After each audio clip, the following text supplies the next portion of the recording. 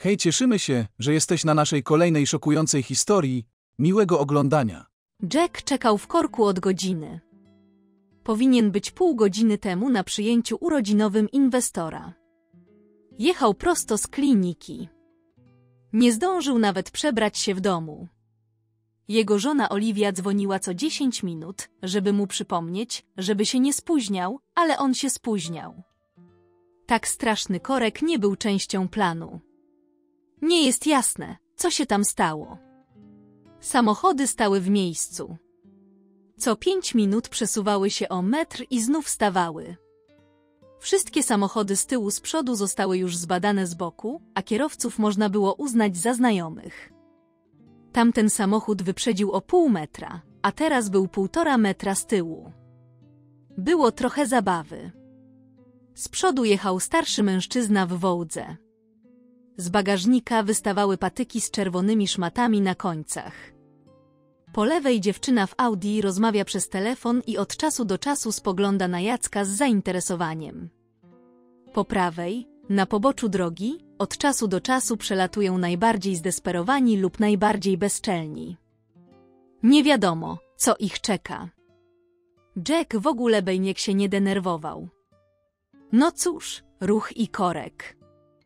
Wreszcie mógł odpocząć. Ale wyobrażał sobie, co powie mu Oliwia, gdy dotrze na miejsce. No właśnie, gdyby tak było. To znowu jego żona. Gdzie jesteś? Nie wiem już, co powiedzieć. Wszyscy tu o ciebie pytają. Nie rozumiesz, jak ważne jest, żebyś tu był. Naprawdę nie rozumiem, jakie to ważne. Nie rozumiem też, co tam robię, ale lecę. Nie mogę przelecieć przez te korki. Nie mogę czy nie chcę. Oliwia, będę tam tak szybko, jak to możliwe. Jack przerwał połączenie. Nie potrzebuję tego przyjęcia. Niech inwestorzy porozmawiają z kierownictwem kliniki. Po co zapraszać kierowników działów? Co to za frajda świętować urodziny z grupą nieznajomych? Jack widział tego inwestora raz w klinice. I nagle taki zaszczyt. Zostaje zaproszony, a nawet z żoną wolałby wrócić do domu, spędzić spokojny wieczór, przeczytać wreszcie dwa ciekawe artykuły przysłane mu miesiąc temu. Zamiast tego zostaje zaciągnięty na jakąś imprezę, gdzie musi ratować twarz i zadawać się z nieciekawymi ludźmi. I nieprzyzwoicie się spóźnia. Oliwia, w przeciwieństwie do męża, ucieszyła się z zaproszenia. Rzadko miała okazję uczestniczyć w przyjęciach tego kalibru. A może nie tyle chciała popatrzeć na innych, co pokazać się.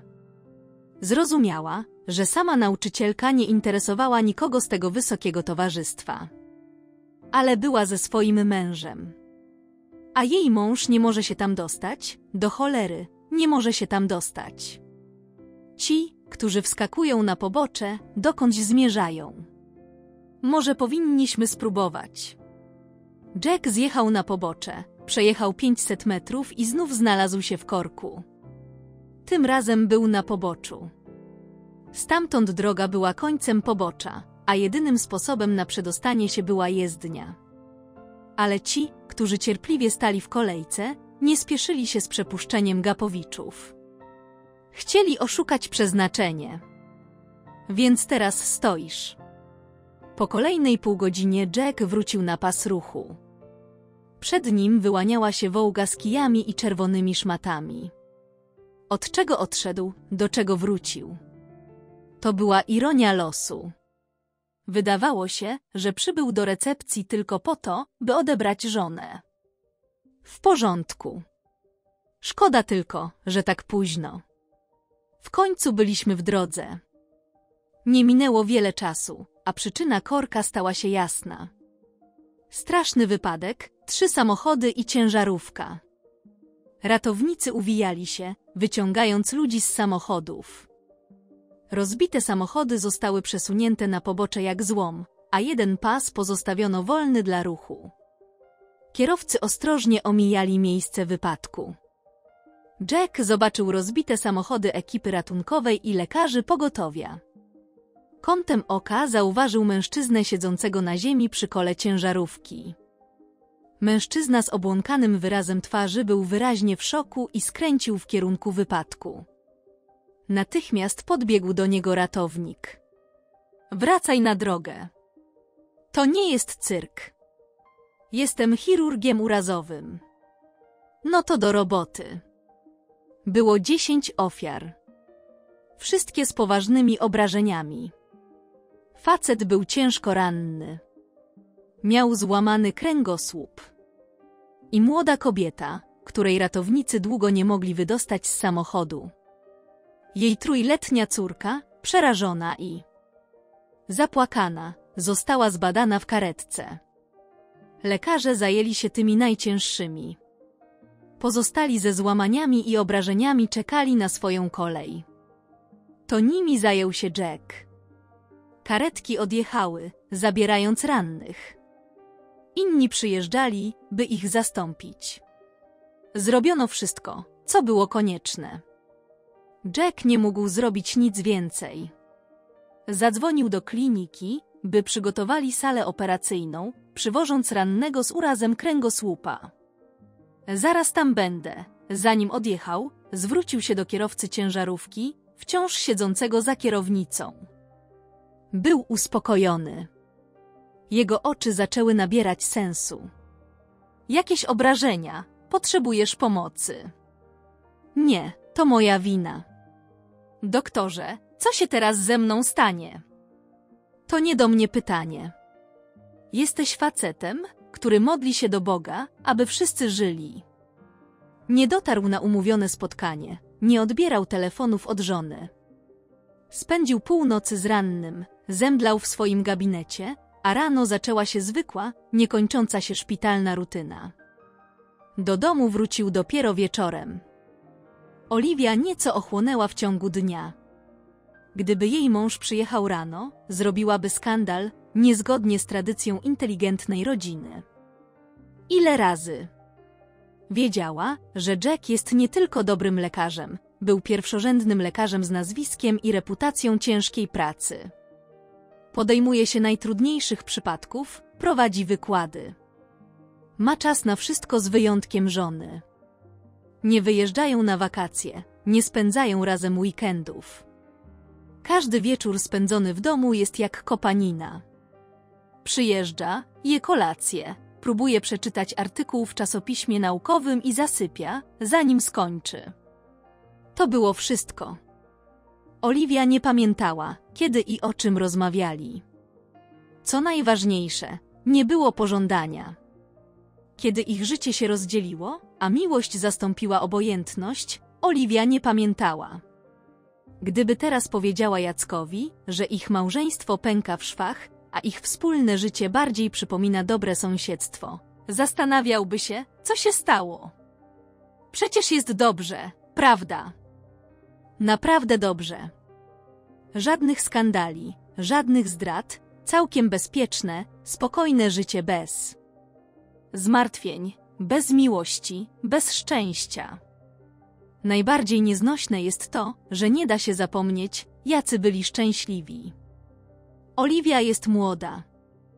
Dopiero po studiach nauczycielka z entuzjazmem podjęła się zadania edukacji młodego pokolenia w oddzielnej szkole, do której została wysłana przez swoich rosyjskich nauczycieli.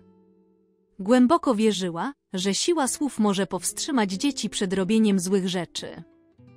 Najważniejsze jest wyjaśnienie, co jest dobre, a co złe. Piękne podmuchy jej duszy dotknęły jej uczniów. Zgodzili się nie denerwować Oliwii, przejęli patronat nad młodą idealistką, są pewni, że w wieku 13 lat wiedzą o życiu więcej niż ich naiwna Oliwia. Wszyscy jako klasa chodzili na najnowsze seanse filmowe, albo na lodowisko czy turniej siatkówki plażowej. Tak po prostu, we wzajemnej iluzji. Oliwia poprowadziła swoją klasę do matury. Najwyraźniej jej pedagogiczne wysiłki nie poszły na marne, bo po maturze uczniowie nie zniknęli z jej życia. Przychodzili z gratulacjami z okazji urodzin, Sylwestra, ze swoimi kłopotami i po prostu na pogawędkę. Nauczyciele z ogromnym doświadczeniem i zasługami uważali, że taka ufna relacja z uczniami jest wskaźnikiem nieprzydatności zawodowej. Naszym zadaniem było kształcenie. Zaprzyjaźnianie się z uczniami jest szczytem nieprofesjonalizmu. Nie ma wystarczająco dużo czasu ani duszy dla wszystkich. Prawdopodobnie to zwykła zazdrość, że nie zrobili wszystkiego, co w ich mocy, by wylać swoje flaki. To właśnie w szkole Oliwia poznała Jacka. Był od niej starszy o 12 lat. Dojrzały i pewny siebie mężczyzna. Jego syn chodził do tej szkoły, a pewnego dnia zamiast matki na zebranie PTA przyszedł jego tata. Nauczyciel z pasją, jakaś nieszablonowa pedagogika, na którą Jack się nabrał. Był rozwiedziony od trzech lat. Nie miał żadnego kontaktu z żoną. Rozstanie było zbyt przykre. Z synem widywał się sporadycznie. Tego dnia po raz pierwszy w życiu poszedł na zebranie rodziców, ponieważ jego była żona nagle zadzwoniła i wpadła w histerię, żądając, by natychmiast rzucił wszystkie swoje pieprzone sprawy i pobiegł do szkoły ratować syna. Nie wyjaśniła przed czym ma go ratować, dlaczego sama nie ucieka było w sumie zrozumiałe. Jack rozumiał, że raczej nic strasznego się nie stanie, ale chodził do szkoły. Musiał być na bieżąco. Nagle Tim naprawdę potrzebował ratunku. Jeśli nie przed szkołą, to przed matką. Nie widziałam syna od jakiegoś czasu. Musimy porozmawiać. Był gotów zabrać Timę do siebie, ale bał się, że jego żona straci rozum, jeśli zostanie sama. Tim, współczując matce, odrzucił propozycję wprowadzenia się. Jack martwił się, ale nie sądził, że można wywierać presję na syna. Dorosły mógł sam sobie z tym poradzić. Po spotkaniu Jack podszedł do Oliwii. Naprawdę nie rozumiał, dlaczego jego żona tak histeryzuje. C z fizyki konflikt z kolegą z klasy nie był katastrofą. To tylko szkolne życie. Nieprzyjemne, oczywiście, ale nie powód, by ogłaszać misję ratunkową. Oliwia potwierdziła, że nie ma żadnego problemu. Tim był wspaniałym chłopcem, trochę wycofanym, ale miłym i utalentowanym. Jack zdążył się już zorientować, że miała wszystkich wspaniałych, utalentowanych. Każdy łobuz będzie usprawiedliwiony, a ona znajdzie w nim wiele pozytywnych cech. Niesamowita dziewczyna. Nie ma już takich jak ona. Jack zawsze przychodził z kwiatami, szarmancki i uprzejmy.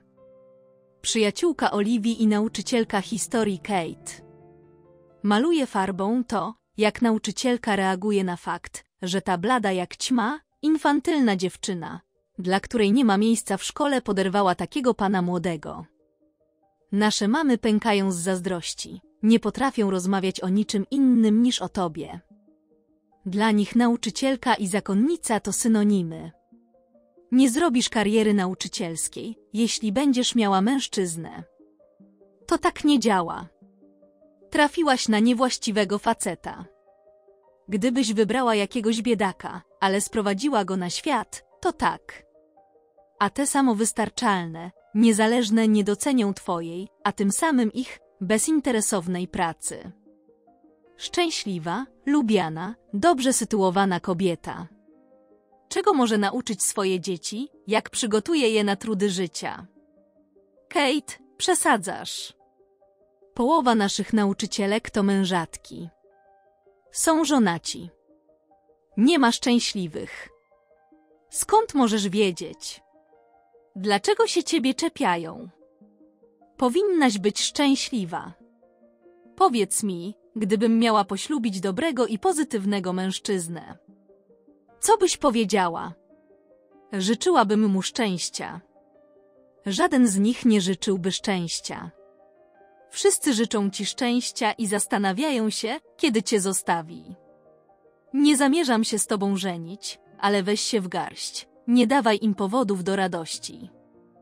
Nie ma dla ciebie odwrotu. Oliwia jest zakochana. Tak poważnie, tak dokładnie. Nawet ją zwodził, jakby miał plan, kiedy, gdzie, o której. To zrozumiałe. To rodzaj pracy, na którą nie ma się czasu. Fakt, że Jack był żonaty, nie przeszkadzał Oliwii. Dziwne, że mężczyzna po czterdziestce nigdy się nie ożenił. Zmyliło ją to w inny sposób. Nie chciał słyszeć o swojej byłej żonie. Dziwne, że przeżył tyle lat. Syn ma 15 lat, a Jay nigdy nie powiedział o niej dobrego słowa. Co się między nimi wydarzyło? Dlaczego się rozwiedli? Jack nic nie powiedział, tylko powiedział Oliwii to, co jego zdaniem powinna wiedzieć. Nigdy nie pojawiłaby się w naszym życiu. W ogóle bym o niej nie wspominał, ale jest jeszcze mój syn. Pomagałem mu i nadal będę pomagał. Myślę, że rozumiesz. To dojrzały, inteligentny chłopak, lubi cię, nie martw się, wszystko będzie dobrze. Nie było tylko dobrze, było wspaniale. Mieli małą podróż poślubną. Wynajęli dom na tydzień na wybrzeżu w Gelendzhik. Słońce, morze, góry. I nikogo poza nimi dwojgiem. Nie dlatego, że nikogo nie było. Po prostu nikt nie był potrzebny. Oliwia patrzyła na swojego męża, a w jej głowie była tylko jedna myśl: jak bardzo cię kocham.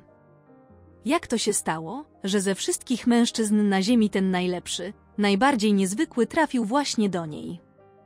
Była gotowa wpatrywać się w te szare i najpiękniejsze oczy na świecie przez cały dzień. Nikt. Nigdy nie był tak szczęśliwy. Zaczęła poważnie wątpić we własne zdolności umysłowe. Tak otumaniona szczęściem, że nie jest w stanie myśleć o niczym. Tylko miłość męża, szczęście. Przez wszystkie kolejne lata, kiedy ogarnęła ją nagła tęsknota.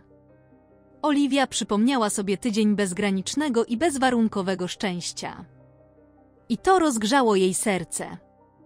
Pragnęła wrócić do tego miejsca, doświadczyć tych samych uczuć. Przypomnieć sobie, jak to jest być szczęśliwym. Ale przez siedem lat, kiedy byli razem, nigdy nie wyjechała nigdzie z mężem. Miłość, oczywiście, wciąż w niej była, ale stała się czymś w rodzaju zwykłego, pozbawionego inspiracji entuzjazmu. Kiedy nie pojawił się na tym niefortunnym przyjęciu. Oliwia poczuła się poważnie urażona, pozostawiona sama wśród obcych. Nikt się o nią nie troszczył. Lekarze w klinice starali się nie zostawiać jej samej, ale wszyscy byli parą. Wszyscy czuli się trochę nieswojo. W rzeczywistości była nieproszonym gościem. Kiedy ktokolwiek na nią patrzył, czuła litość, zakłopotanie, kim jest, co tu robi. Wciąż miała nadzieję, że Jack przyjdzie.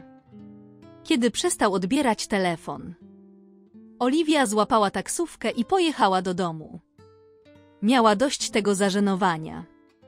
W domu stanęła przed lustrem, patrząc na siebie, wysoką, szczupłą kobietę w eleganckiej sukience o pięknej i inteligentnej twarzy. Było jej też żal tej piękności. Płakała. Tak wiele miało się wydarzyć. Marzyła, że wszyscy docenią ich piękną parę, będą mówić komplementy, a Jack będzie dumny ze swojej żony. Zamiast komplementów obojętność, zamiast miłego wieczoru tęsknota i samotność. A teraz stoi, patrzy na siebie taką piękną, cicho wyje, że nikt nie chce jej urody, nawet mąż.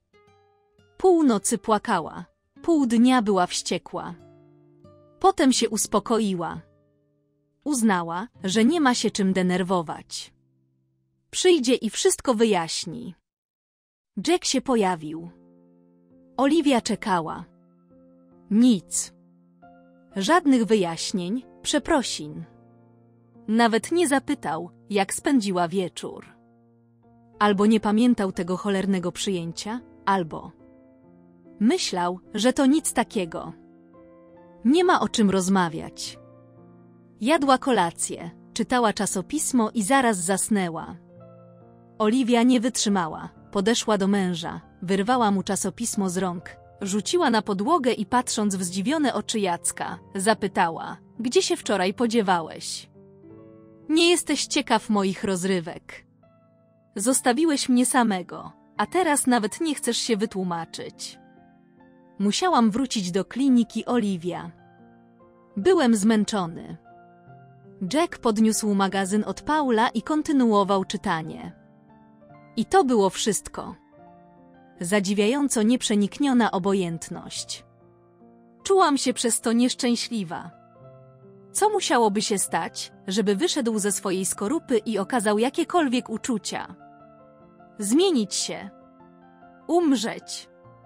Zastanawiam się, czy zauważy, czy będzie miał mi za złe, że znowu odciągam go od pracy.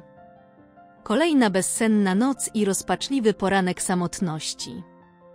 Poranek nie był ani mądrzejszy, ani milszy, w każdym razie nie mądrzejszy niż wieczór.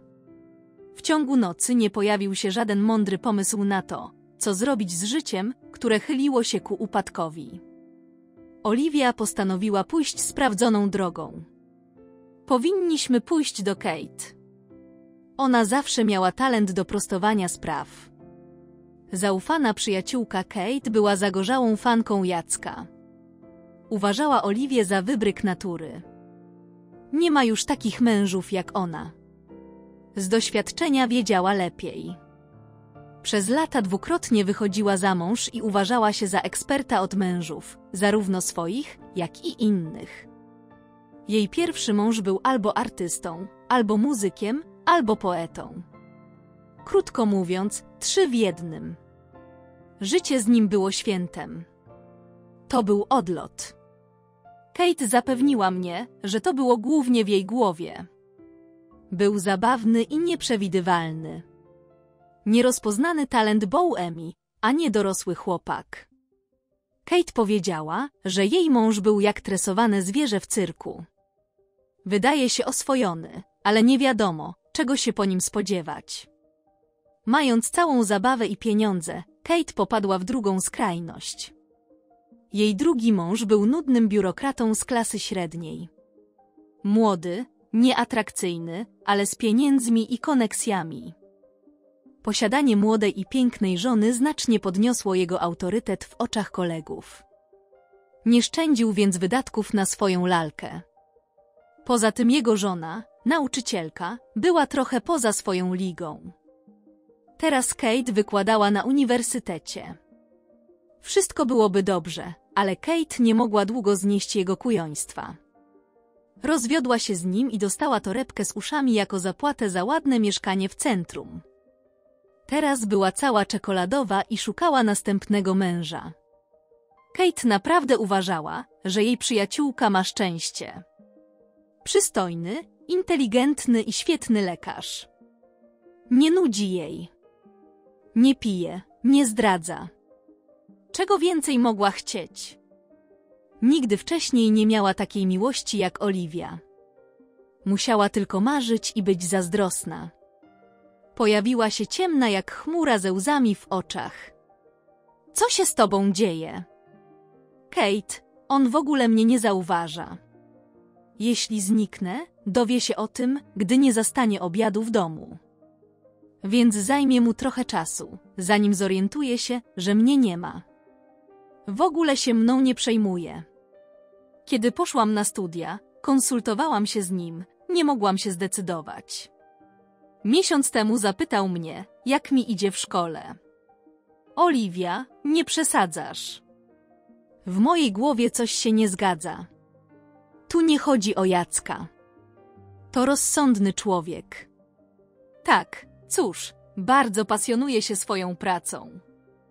Ale to dobrze. Kto jest tak pochłonięty pracą, że zapomina o swojej żonie, kiedy wyjeżdża? Jak myślisz, kobieto? Nie sądzę. Chociaż może byłoby lepiej, przynajmniej byłoby jaśniej. Jesteś przyjaciółką, nie idź na całość z mężem. Jest zmęczony, opamięta się i będzie dobrze. Nie ma takiego mężczyzny jak twój Jack. Jakiego mężczyznę wrzucę do koszyka, wywiozę do lasu, rzucę diabłu. Światło było głoszone z tęsknotą. Dziewczyno, skąd to wytrzasnęłaś? Cóż to za kreatywność? Wyjmę to i wyrzucę. Jak wyrzucisz, to zaraz podniosą. Słuchaj, naprawdę nie rozumiem, co jest z tobą nie tak. Nie ma czegoś takiego jak szalona miłość do życia. Nie miałam dwóch mężów i żadnej nieziemskiej miłości. Ty, ale wioł, masz. Szczęście, nie złość Boga. Może masz rację. Co dokładnie się stało? Znowu popadam w melancholię. Nie ma za co, moja kamizelka jest zawsze do usług. Kilka dni później wszystkie wiadomości zaczęły się od najświeższych informacji z Sachalinu. Trzęsienie ziemi znów tam uderzyło. Cały kraj z zapartym tchem śledził statystyki zabitych i rannych. Ratownicy i lekarze z całego kraju przylecieli na Sachalin. Jack miał dołączyć do jednego z zespołów. Oliwia, musisz zrozumieć, nie mogę tam nie polecieć. Jestem bardziej potrzebny. Nie martw się, będę w domu za tydzień. Oliwia oglądała wiadomości jak relacje z frontu. Raz zobaczyła Jacka w artykule o lekarzach. Zmartwiła się i zadzwoniła. Nie zawsze odbierał. Serce mnie bolało. Odganiałam czarne myśli o tym, co może się stać. Przecież trzyma się z dala od lasu, pomaga tym, których już wkurzył. I nagle nastąpił nowy szok. Więcej zabitych i rannych. Jack nie dzwonił od dwóch dni. W końcu Jack dzwoni. Nie, to nie Jack, numer nie jest znajomy. Tak, słucham. Oliwia. Tak. Twój mąż Jack zginął we wraku w Novelty Village. Bardzo nam przykro z powodu pani straty. Zajmiemy się kosztami transportu. Nie zajmą się. Jakiego transportu? Mówią o Jacku. Jak to nie żyje? To szaleństwo. Oliwia wybierała i wybierała numer Jacka. Z jakiegoś powodu nie odbierał. Usłyszała dzwonienie w uszach, a potem jakieś dudnienie. Ktoś walił w drzwi. Wstałam, podeszłam do drzwi, stałam i patrzyłam. Nie wiedziałam, jak je otworzyć. Powiedziano do mnie coś nieprzyjemnego. Nie pamiętam co. Kto tak wali w drzwi? Jest dzwonek. Oliwia otworzyła. Za drzwiami stali koledzy Jacka, lekarze z kliniki. O co chodzi? Jacka nie ma w domu, a to przecież nie jego urodziny. Nagle wszystko stało się jasne, martwe. Kondolencje. Oliwia nie pamiętała nic więcej. Obudziła się, gdy trumna została opuszczona do grobu, krzyczała, biegała, była trzymana. Była w czyichś ramionach, krzyczała, krzyczała. Potem znów wszystko się zamgliło. Jakby. Kate, jakby Tim coś mówił, coś jej podawał. Kiedy się ocknąłem, byłem zaskoczony, że żyje. Nie, nie zaskoczona. Byłam rozczarowana, dlaczego żyje. Kate, jak anioł stróż, zawsze stała za mną i powstrzymywała mnie przed upadkiem w otchłań. Spokojna, uspokajająca, wybiegająca w przyszłość, popychająca do działania. Krótko mówiąc, po kilku miesiącach można było porozmawiać z Oliwią bez obawy, że straci się rozum. Szczerze mówiąc, Kate nie spodziewała się, że Oliwia aż tak przesadzi. Najwyraźniej zmarła jej ukochana osoba, którą trzeba było tak wyrzucić ze swojego życia. Kate sama zaopiekowała się Oliwią. Oliwia opamiętała się i wróciła do normalnego życia. Jest ponure, ale da się żyć. Myśli zniknęły. Nie mogę bez niego żyć. Potrafię. Przynajmniej próbuję. Wszystko się uspokoiło. Płakałam w nocy, czasem nawet zapominałam o cierpieniu w ciągu dnia. Potem sobie przypominałam, ale nie bolało tak bardzo. Od śmierci Jacka minęło prawie sześć miesięcy. Kiedy Kate nagle zapytała, Oliwia, złożyłaś wniosek o spadek. Jaki wniosek? Dlaczego? Właściwie to twój mąż miał majątek, przynajmniej to mieszkanie. A tak przy okazji, czyje mieszkanie? Jacka. Tutaj. I ma syna spadkobiercę. Była żona nie może go odebrać. Ale syn może. Podejrzewam, że ty i Tim będziecie musieli dzielić mieszkanie. A jeśli nie odziedziczysz, nie będzie się czym dzielić. Więc idź jutro do notariusza z dokumentami. To nie ma sensu. Oliwii nigdy nie przyszło do głowy, że będzie musiała dzielić mieszkanie, w którym mieszkała przez tyle lat, przyzwyczajona do myślenia o nim jak o swoim własnym. Dopiero teraz, po słowach Kate, zdała sobie sprawę, że tak nie jest. Była tu zameldowana. Nie mogła zostać wypisana, ale to nie było jej mieszkanie. Notariuszką okazała się młoda dziewczyna o surowym spojrzeniu i wcale nie budzącym respektu kucyku na czubku głowy. Przejrzała dokumenty, wzięła wniosek Oliwii i dokładnie wyjaśniła, że Oliwia z mocy prawa odziedziczyła połowę mieszkania, połowę samochodu i połowę działki letniskowej. Radziła negocjować z drugim spadkobiercą, Tajmem. Jak to wszystko podzielić? Kto dostanie samochód, kto domek, a kto mieszkanie? Oliwia była gotowa zrezygnować z samochodu i domku, jeśli mogłaby zatrzymać mieszkanie. Po prostu nie miała gdzie mieszkać. Nie rozumiała tego w równym stopniu. Tim pewnie nie miałby nic przeciwko, ale jego mama wciąż tam była. Przyszła jakaś dziwna wiadomość. Zaległości w podatku gruntowym i od nieruchomości. Oliwia na początku myślała, że chodzi o domek i mieszkanie, ale dlaczego to było na jej nazwisko? Wszechwiedząca Kate poradziła jej, żeby poszła do Urzędu Stanu Cywilnego i dowiedziała się, na czym polegają te wszystkie sztuczki. Och, ale wioł! Mam wątpliwości. To nie może być nic dobrego. Nie zdziwiłbym się, gdyby była żona coś kombinowała, ale przekazanie ci nieruchomości, żebyś nie musiał płacić podatków, to głupota, nawet jak na nią. I podatki za zeszły rok. Może Jack zarejestrował coś na twoje nazwisko. Niczego nie kupiliśmy. Wszystko, co mamy, jest sprzed stu lat. Rejestr Oliwii dał nam akt własności 53-metrowego domu w wiosce Pokrowka. Jakiej pokrowce? Jakiego domu? Musi uporządkować swoje mieszkanie. Brakowało tylko domu. Życie stawało się zbyt nerwowe. Oliwia, nie rozumiejąc, zadzwoniła do przyjaciela i kolegi Jacka o Oliverę. Oliver, powiedz mi, Jack mówił coś o domu na wsi. Masz na myśli pokrowkę? To piękny domek, bardzo mi się tam podoba. Spędziliśmy tam z żoną miesiąc w zeszłym roku. Jack powiedział, że kupił go, aby przekształcić w prawdziwą chatę i będzie tam mieszkał, kiedy przejdzie na zasłużony odpoczynek. Dlaczego o tym nie wiedziałem? I dlaczego zarejestrował go na moje nazwisko?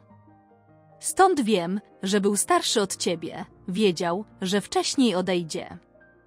Chciał, żebyś miała coś własnego, a nie powiedział ci, bo nie było o czym. Chciał najpierw zbudować pałac dla księżniczki, a potem sprowadzić księżniczkę do tego pałacu. Kto wiedział, że nie zdąży na czas? Och, przepraszam. Co mam teraz zrobić z tym pałacem? Co tylko zechcesz. Ale na twoim miejscu bym go nie sprzedawał. To wspaniałe miejsce, prawda? Powinieneś je zobaczyć. Zadzwonił dzwonek do drzwi. Oliwia szybko pożegnała się z Oliverem i poszła otworzyć.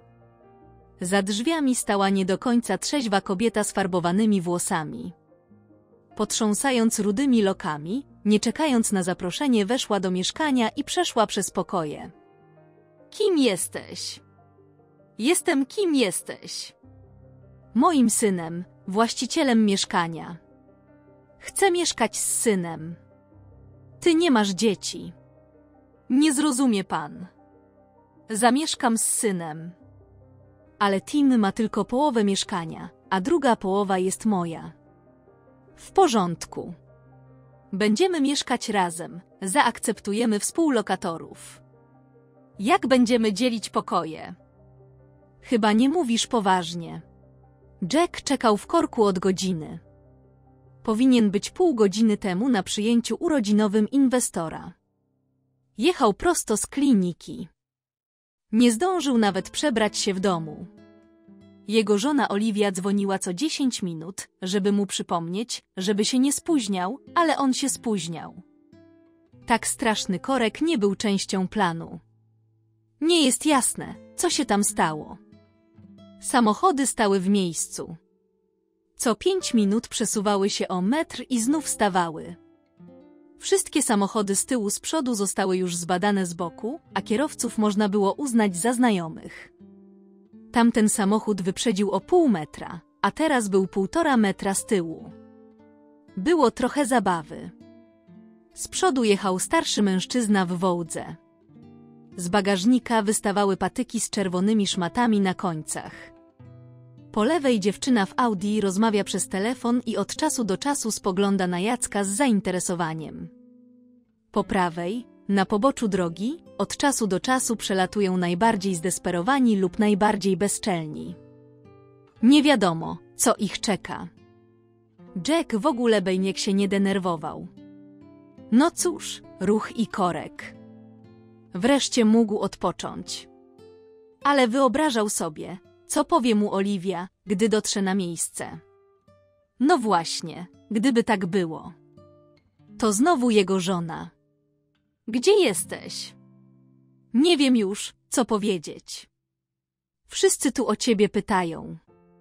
Nie rozumiesz, jak ważne jest, żebyś tu był. Naprawdę nie rozumiem, jakie to ważne. Nie rozumiem też, co tam robię, ale lecę. Nie mogę przelecieć przez te korki. Nie mogę czy nie chcę. Oliwia, będę tam tak szybko, jak to możliwe. Jack przerwał połączenie. Nie potrzebuję tego przyjęcia. Niech inwestorzy porozmawiają z kierownictwem kliniki. Po co zapraszać kierowników działów? Co to za frajda świętować urodziny z grupą nieznajomych? Jack widział tego inwestora raz w klinice. I nagle taki zaszczyt. Zostaje zaproszony, a nawet z żoną wolałby wrócić do domu, spędzić spokojny wieczór, przeczytać wreszcie dwa ciekawe artykuły przysłane mu miesiąc temu. Zamiast tego zostaje zaciągnięty na jakąś imprezę, gdzie musi ratować twarz i zadawać się z nieciekawymi ludźmi. I nieprzyzwoicie się spóźnia.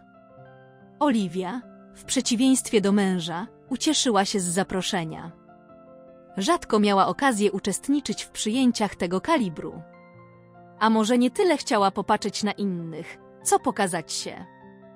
Zrozumiała, że sama nauczycielka nie interesowała nikogo z tego wysokiego towarzystwa. Ale była ze swoim mężem. A jej mąż nie może się tam dostać? Do cholery, nie może się tam dostać. Ci, którzy wskakują na pobocze, dokądś zmierzają. Może powinniśmy spróbować. Jack zjechał na pobocze, przejechał 500 metrów i znów znalazł się w korku. Tym razem był na poboczu. Stamtąd droga była końcem pobocza, a jedynym sposobem na przedostanie się była jezdnia. Ale ci, którzy cierpliwie stali w kolejce, nie spieszyli się z przepuszczeniem gapowiczów. Chcieli oszukać przeznaczenie. Więc teraz stoisz. Po kolejnej półgodzinie Jack wrócił na pas ruchu. Przed nim wyłaniała się wołga z kijami i czerwonymi szmatami. Od czego odszedł, do czego wrócił. To była ironia losu. Wydawało się, że przybył do recepcji tylko po to, by odebrać żonę. W porządku. Szkoda tylko, że tak późno. W końcu byliśmy w drodze. Nie minęło wiele czasu, a przyczyna korka stała się jasna. Straszny wypadek, trzy samochody i ciężarówka. Ratownicy uwijali się, wyciągając ludzi z samochodów. Rozbite samochody zostały przesunięte na pobocze jak złom, a jeden pas pozostawiono wolny dla ruchu. Kierowcy ostrożnie omijali miejsce wypadku. Jack zobaczył rozbite samochody ekipy ratunkowej i lekarzy pogotowia. Kątem oka zauważył mężczyznę siedzącego na ziemi przy kole ciężarówki. Mężczyzna z obłąkanym wyrazem twarzy był wyraźnie w szoku i skręcił w kierunku wypadku. Natychmiast podbiegł do niego ratownik. Wracaj na drogę. To nie jest cyrk. Jestem chirurgiem urazowym. No to do roboty. Było dziesięć ofiar. Wszystkie z poważnymi obrażeniami. Facet był ciężko ranny. Miał złamany kręgosłup. I młoda kobieta, której ratownicy długo nie mogli wydostać z samochodu. Jej trójletnia córka, przerażona i zapłakana, została zbadana w karetce. Lekarze zajęli się tymi najcięższymi. Pozostali ze złamaniami i obrażeniami czekali na swoją kolej. To nimi zajął się Jack. Karetki odjechały, zabierając rannych. Inni przyjeżdżali, by ich zastąpić. Zrobiono wszystko, co było konieczne. Jack nie mógł zrobić nic więcej. Zadzwonił do kliniki, by przygotowali salę operacyjną, przywożąc rannego z urazem kręgosłupa. Zaraz tam będę. Zanim odjechał, zwrócił się do kierowcy ciężarówki, wciąż siedzącego za kierownicą. Był uspokojony. Jego oczy zaczęły nabierać sensu. Jakieś obrażenia, potrzebujesz pomocy. Nie, to moja wina. Doktorze, co się teraz ze mną stanie? To nie do mnie pytanie. Jesteś facetem, który modli się do Boga, aby wszyscy żyli. Nie dotarł na umówione spotkanie, nie odbierał telefonów od żony. Spędził północy z rannym, zemdlał w swoim gabinecie, a rano zaczęła się zwykła, niekończąca się szpitalna rutyna. Do domu wrócił dopiero wieczorem. Oliwia nieco ochłonęła w ciągu dnia. Gdyby jej mąż przyjechał rano, zrobiłaby skandal, niezgodnie z tradycją inteligentnej rodziny. Ile razy? Wiedziała, że Jack jest nie tylko dobrym lekarzem, był pierwszorzędnym lekarzem z nazwiskiem i reputacją ciężkiej pracy. Podejmuje się najtrudniejszych przypadków, prowadzi wykłady. Ma czas na wszystko z wyjątkiem żony. Nie wyjeżdżają na wakacje, nie spędzają razem weekendów. Każdy wieczór spędzony w domu jest jak kopanina. Przyjeżdża, je kolację, próbuje przeczytać artykuł w czasopiśmie naukowym i zasypia, zanim skończy. To było wszystko. Oliwia nie pamiętała, kiedy i o czym rozmawiali. Co najważniejsze, nie było pożądania. Kiedy ich życie się rozdzieliło, a miłość zastąpiła obojętność, Oliwia nie pamiętała. Gdyby teraz powiedziała Jackowi, że ich małżeństwo pęka w szwach, a ich wspólne życie bardziej przypomina dobre sąsiedztwo, zastanawiałby się, co się stało. Przecież jest dobrze, prawda? Naprawdę dobrze.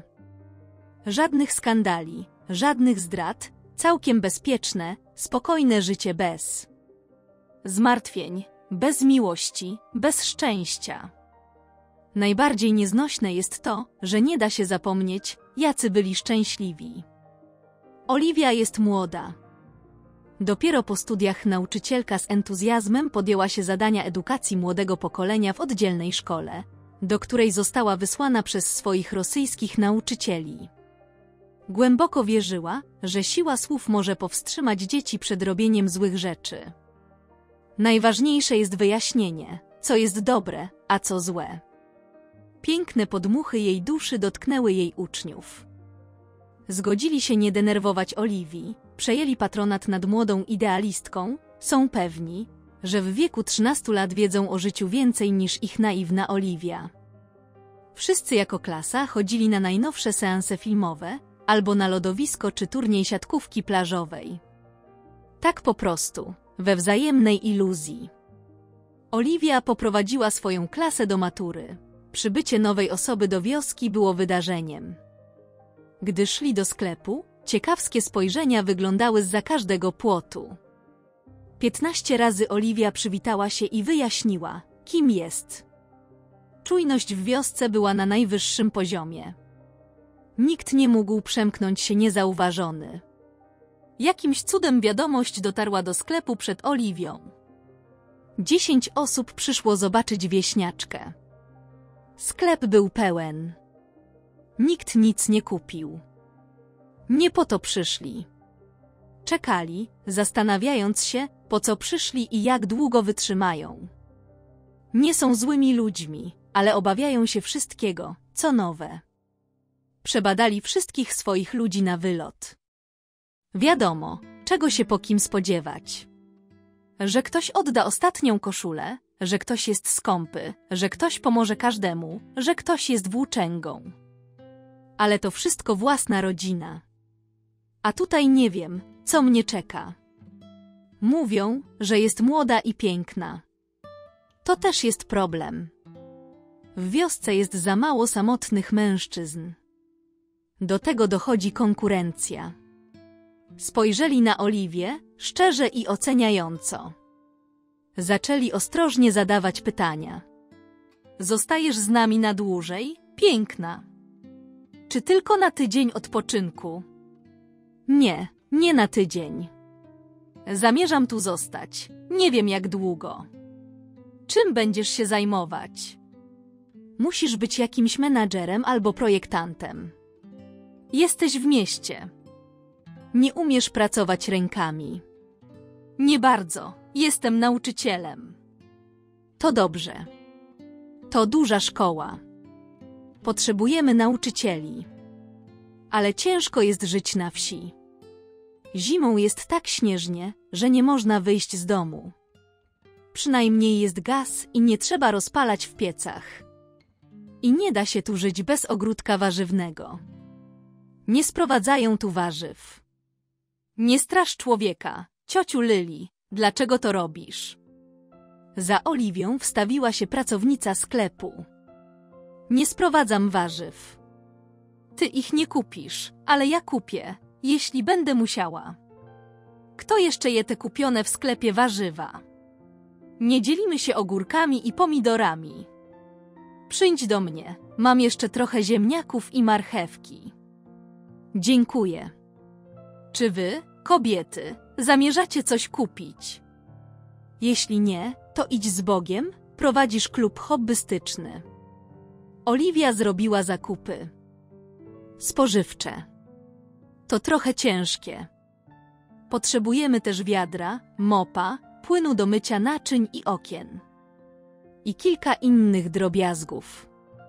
Nie możemy nosić wszystkiego. Będziesz sprzątać.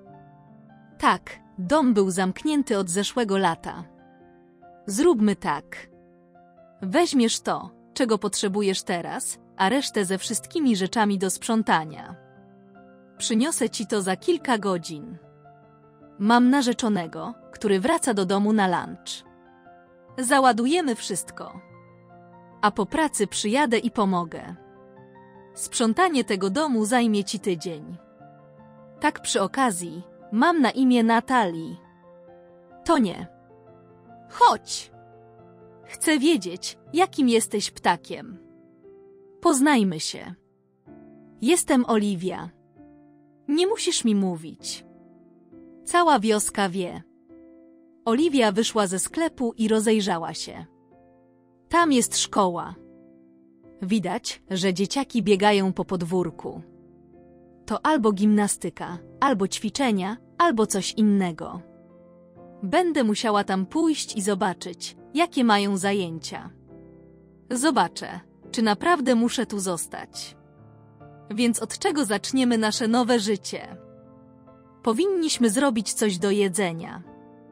Nie, najpierw zrobię kanapki i herbatę, a potem będę gotować, bo inaczej będę się ślinić.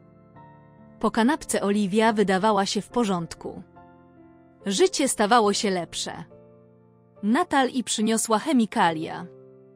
Najpierw musimy umyć okna. Aby uzyskać więcej słońca i blasku, Oliwia skrupulatnie rozejrzała się po domu. Rano panował bałagan. Szare meble, matowe okna, zakurzone zasłony. Gdyby wszystko posprzątać, byłoby przytulniej. Gdzie była Natalii? Nie mogę się doczekać. Natalii przyjechała, zgodnie z obietnicą, ze swoim narzeczonym. Przystojny, uśmiechnięty blondyn. Może nie był panem młodym, ale wykazywał zainteresowanie.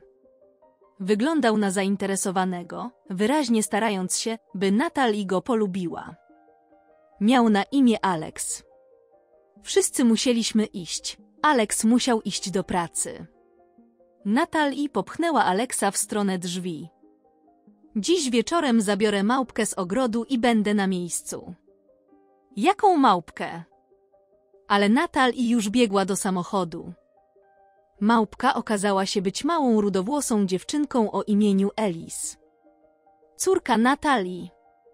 Pomocnicy sprawili, że praca poszła. Szybciej i większość domu została posprzątana w jeden wieczór. Zostało tylko kilka drobiazgów. Usiedliśmy przy herbacie, zmęczeni, ale entuzjastycznie nastawieni do rezultatów. Małpka nie dotarła na herbatę. Zasnęła.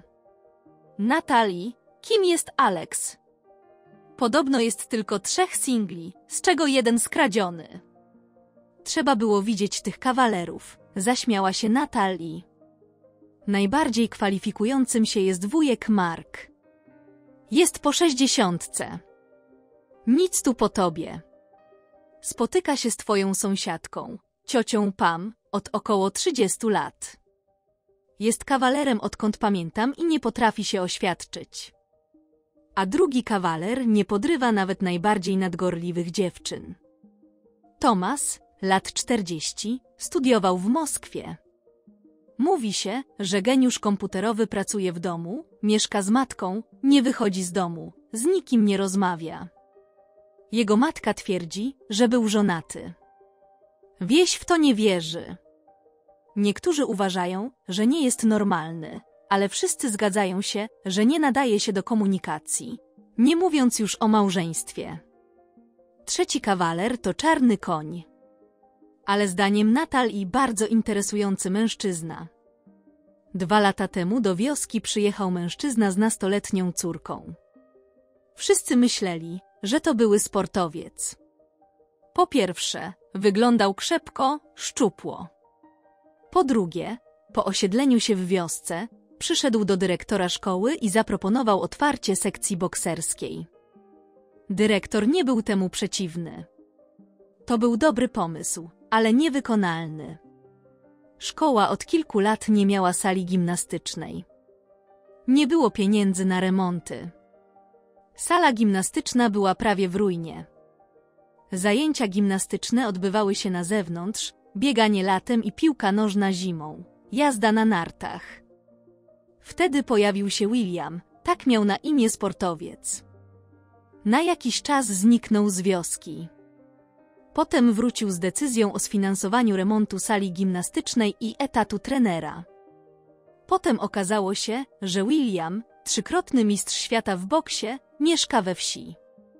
Jednak od dłuższego czasu nie bierze udziału w zawodach. Odmawia udziału w mistrzostwach świata. A dlaczego nikt nie wie?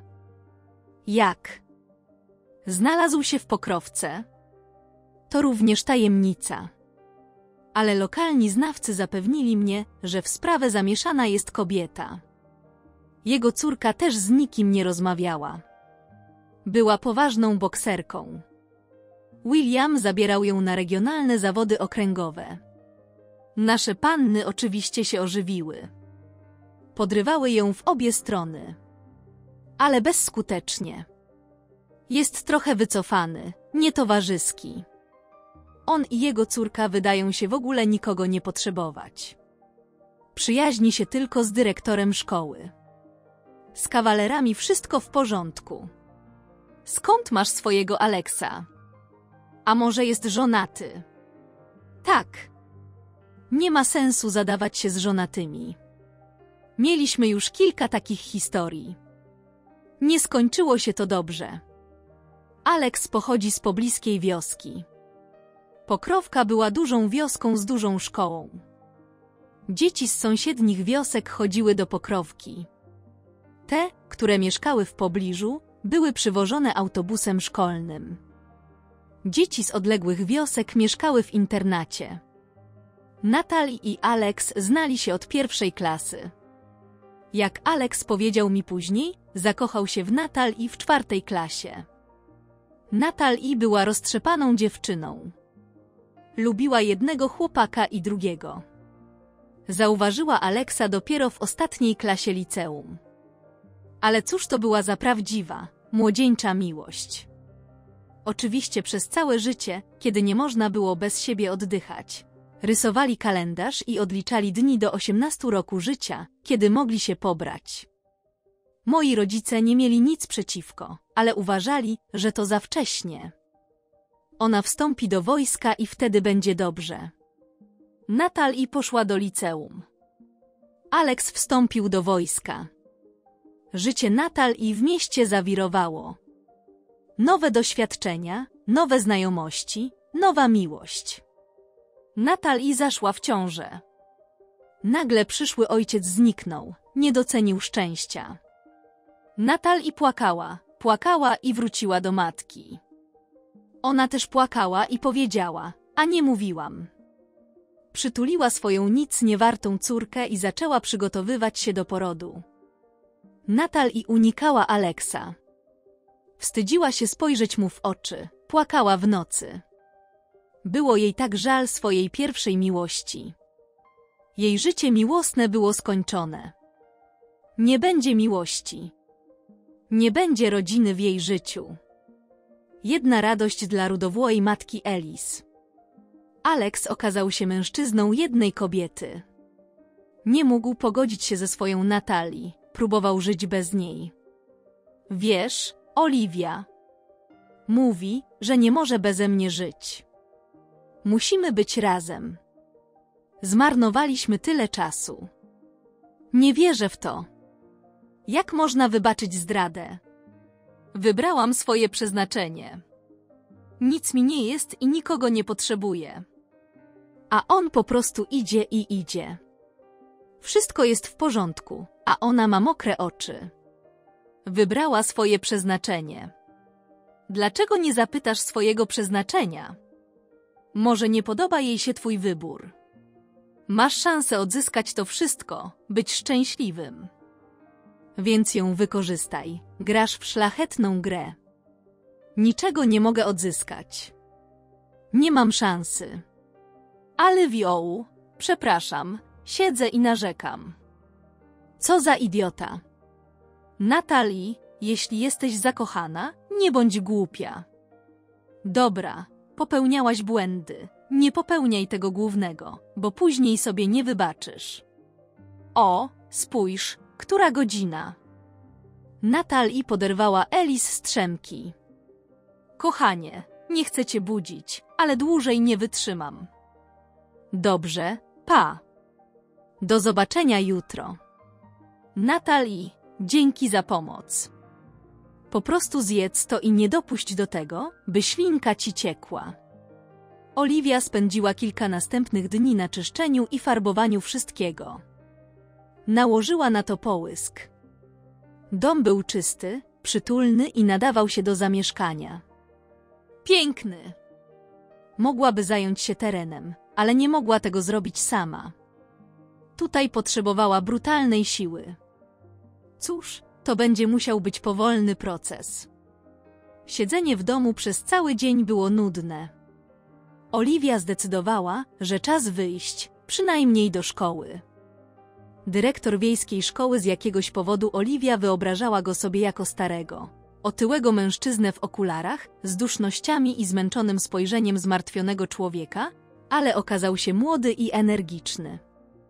Kiedy Andrew dowiedział się, że przyjechał do niego dyplomowany i doświadczony nauczyciel rosyjskiego. Jego radość nie miała granic. Oliwia, nie masz pojęcia, jak my tu pracujemy. Jestem nauczycielką matematyki. Uczę też. Fizyki. Chemik uczy biologii i geografii, a nauczyciel historii rosyjskiego. Masz pojęcie, jaki jest poziom wiedzy? Mamy tylko niemiecki jako język obcy, nie ma innych nauczycieli. Uczymy się na dwie zmiany. Nie dlatego, że jest za dużo uczniów, nie dlatego, że jest za mało miejsca, ale dlatego, że jest za mało nauczycieli. Chodź, pokażę ci szkołę. Andrew mówił o szkole tylko w doskonałej formie. Był dumny. Oliwia nie spodziewała się, że szkoła na wsi może być tak dobrze wyposażona jak jakakolwiek szkoła miejska. Pracownia chemiczna, pracownia komputerowa, klasa lingwistyczna. Wszystko na najwyższym poziomie. Naprawy mogą być prostsze. Ale tutaj panowała domowa atmosfera. W sali gimnastycznej, w odległym rogu znajdował się ring bokserski. Uczniowie tłoczyli się wokół niego.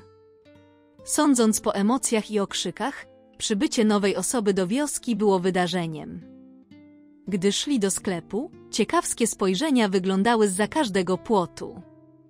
Piętnaście razy Oliwia przywitała się i wyjaśniła, kim jest. Czujność w wiosce była na najwyższym poziomie. Nikt nie mógł przemknąć się niezauważony. Jakimś cudem wiadomość dotarła do sklepu przed Oliwią. Dziesięć osób przyszło zobaczyć wieśniaczkę. Sklep był pełen. Nikt nic nie kupił. Nie po to przyszli.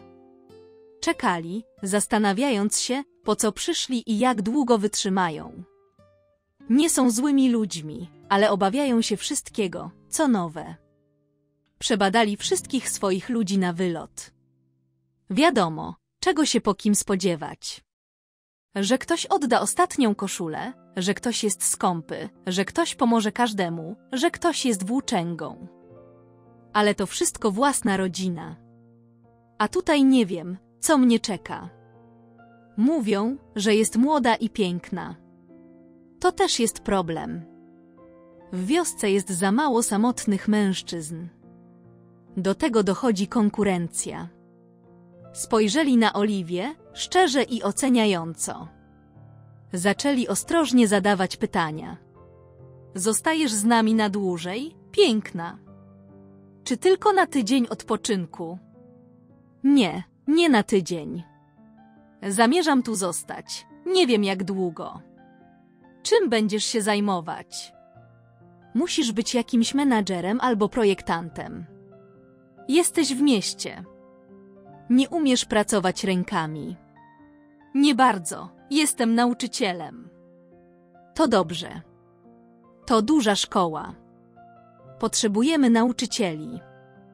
Ale ciężko jest żyć na wsi. Zimą jest tak śnieżnie, że nie można wyjść z domu. Przynajmniej jest gaz i nie trzeba rozpalać w piecach. I nie da się tu żyć bez ogródka warzywnego. Nie sprowadzają tu warzyw. Nie strasz człowieka, ciociu Lyli, dlaczego to robisz? Za Oliwią wstawiła się pracownica sklepu. Nie sprowadzam warzyw. Ty ich nie kupisz, ale ja kupię, jeśli będę musiała. Kto jeszcze je te kupione w sklepie warzywa? Nie dzielimy się ogórkami i pomidorami. Przyjdź do mnie, mam jeszcze trochę ziemniaków i marchewki. Dziękuję.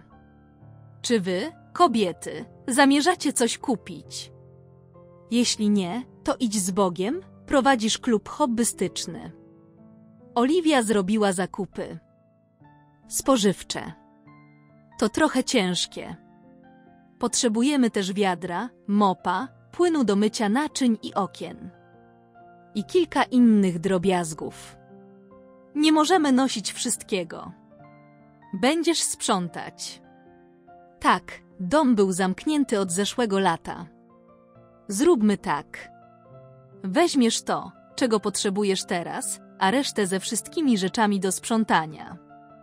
Przyniosę ci to za kilka godzin. Mam narzeczonego, który wraca do domu na lunch. Załadujemy wszystko. A po pracy przyjadę i pomogę. Sprzątanie tego domu zajmie ci tydzień. Tak przy okazji, mam na imię Natalii. To nie. Chodź! Chcę wiedzieć, jakim jesteś ptakiem. Poznajmy się. Jestem Oliwia. Nie musisz mi mówić. Cała wioska wie. Oliwia wyszła ze sklepu i rozejrzała się. Tam jest szkoła. Widać, że dzieciaki biegają po podwórku. To albo gimnastyka, albo ćwiczenia, albo coś innego. Będę musiała tam pójść i zobaczyć, jakie mają zajęcia. Zobaczę, czy naprawdę muszę tu zostać. Więc od czego zaczniemy nasze nowe życie? Powinniśmy zrobić coś do jedzenia. Nie, najpierw zrobię kanapki i herbatę, a potem będę gotować, bo inaczej będę się ślinić. Po kanapce Oliwia wydawała się w porządku. Życie stawało się lepsze. Natal i przyniosła chemikalia. Najpierw musimy umyć okna. Aby uzyskać więcej słońca i blasku, Oliwia skrupulatnie rozejrzała się po domu. Rano panował bałagan. Szare meble, matowe okna, zakurzone zasłony. Gdyby wszystko posprzątać, byłoby przytulniej. Gdzie była Natali? Nie mogę się doczekać. Natali przyjechała, zgodnie z obietnicą, ze swoim narzeczonym. Przystojny, uśmiechnięty blondyn. Może nie był panem młodym, ale wykazywał zainteresowanie. Wyglądał na zainteresowanego, wyraźnie starając się, by Natali go polubiła. Miał na imię Alex. Wszyscy musieliśmy iść. Alex musiał iść do pracy. Natali popchnęła Aleksa w stronę drzwi. Dziś wieczorem zabiorę małpkę z ogrodu i będę na miejscu. Jaką małpkę? Ale Natali już biegła do samochodu. Małpka okazała się być małą rudowłosą dziewczynką o imieniu Elis. Córka Natalii. Pomocnicy sprawili, że praca poszła. Szybciej i większość domu została posprzątana w jeden wieczór. Zostało tylko kilka drobiazgów. Usiedliśmy przy herbacie, zmęczeni, ale entuzjastycznie nastawieni do rezultatów. Małpka nie dotarła na herbatę. Zasnęła. Natalii, kim jest Alex? Podobno jest tylko trzech singli, z czego jeden skradziony. Trzeba było widzieć tych kawalerów, zaśmiała się Natalii. Najbardziej kwalifikującym się jest wujek Mark. Jest po sześćdziesiątce. Nic tu po tobie. Spotyka się z twoją sąsiadką, ciocią Pam, od około 30 lat.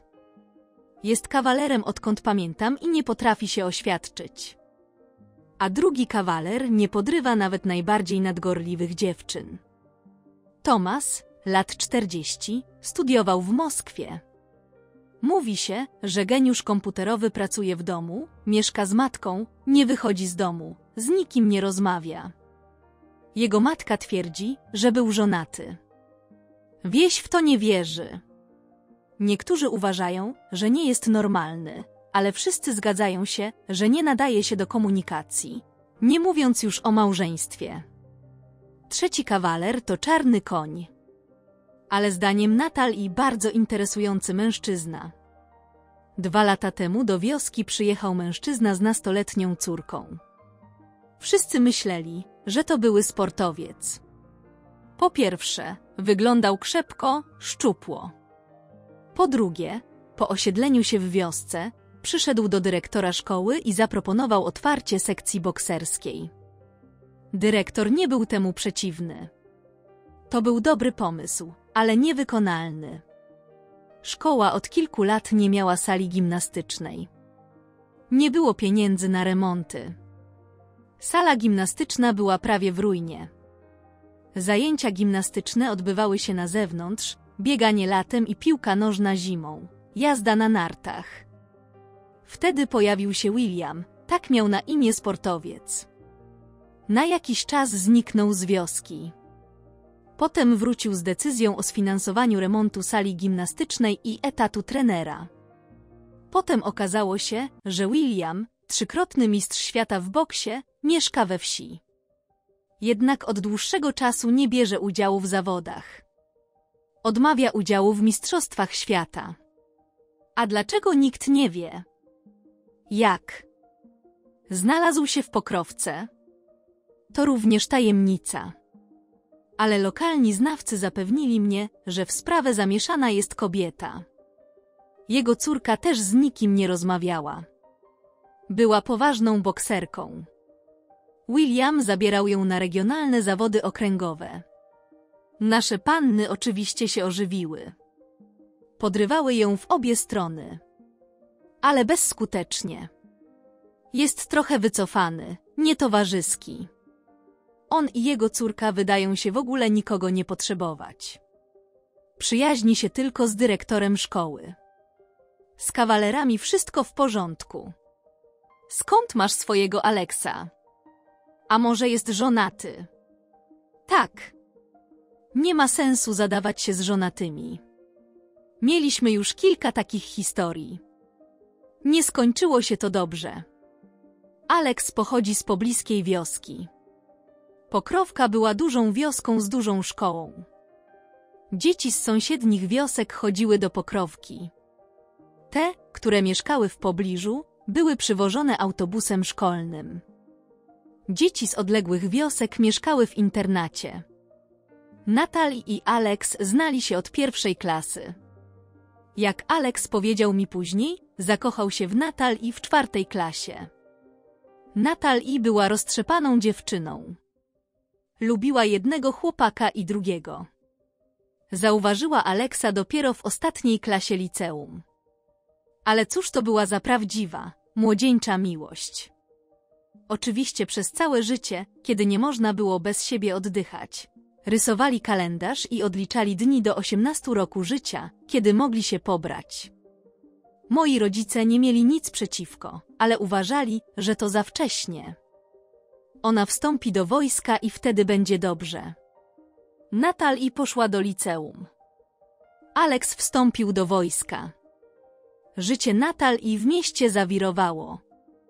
Nowe doświadczenia, nowe znajomości, nowa miłość. Natal i zaszła w ciążę. Nagle przyszły ojciec zniknął, nie docenił szczęścia. Natal i płakała, płakała i wróciła do matki. Ona też płakała i powiedziała, a nie mówiłam. Przytuliła swoją nic niewartą córkę i zaczęła przygotowywać się do porodu. Natal i unikała Aleksa. Wstydziła się spojrzeć mu w oczy, płakała w nocy. Było jej tak żal swojej pierwszej miłości. Jej życie miłosne było skończone. Nie będzie miłości. Nie będzie rodziny w jej życiu. Jedna radość dla rudowłojej matki Elis. Alex okazał się mężczyzną jednej kobiety. Nie mógł pogodzić się ze swoją Natalii, próbował żyć bez niej. Wiesz, Oliwia. Mówi, że nie może beze mnie żyć. Musimy być razem. Zmarnowaliśmy tyle czasu. Nie wierzę w to. Jak można wybaczyć zdradę? Wybrałam swoje przeznaczenie.